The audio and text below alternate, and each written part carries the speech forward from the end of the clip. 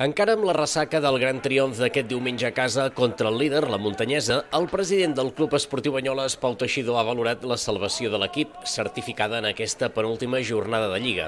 Des de l'entitat blanquiblava celebra, evidentment, haver salvat la categoria i poder continuar un any més a primera catalana, però la Junta Directiva fa autocrítica i reconeix que la temporada ha sigut un fracàs, perquè la realitat ha acabat estant molt allunyada de les grans expectatives que hi havia a l'inici de la Lliga. Però bueno, tal com anava una mica la dinàmica, sí és cert que això ho firmàvem fa un mes, no? però si fem una valoració més objectiva de tota la temporada, doncs no puc negar que ha sigut una temporada amb fracàs, perquè l'expectativa era una altra i la realitat ha sigut totalment diferent, però dintre de la dinàmica negativa, poder salvar doncs, la categoria ja és un, un gran fet. Després de perdre la categoria la temporada passada i baixar de tercera divisió, el club va fer una important aposta esportiva i econòmica per lluitar per l'ascens. L'equip no va començar malament i va guanyar 4 dels 6 primers partits de Lliga, però a partir de la jornada 7 van cadenar una mala dinàmica de resultats de la que no va saber sortir.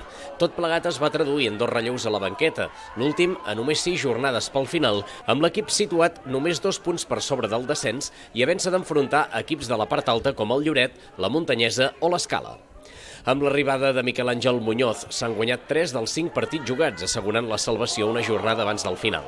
Els banyolins sumen ara 32 punts i en tenen 4 de marge sobre les franqueses i sobre el Llagostera B, pel que eviten el descens directe. Tampoc baixaran com a pitjor 11 classificat dels tres grups, que ara mateix és l'Alcarràs amb 26 punts. La intenció és tancar la Lliga guanyant aquest proper diumenge el derbi al camp del Palamós. La idea és que mm, hem acabat bastant bé aquest final, aquest últim tram de temporada i la idea és doncs, anar a Palamós a treure els 3 punts i així ja poder oblidar i finiquitar la, la temporada.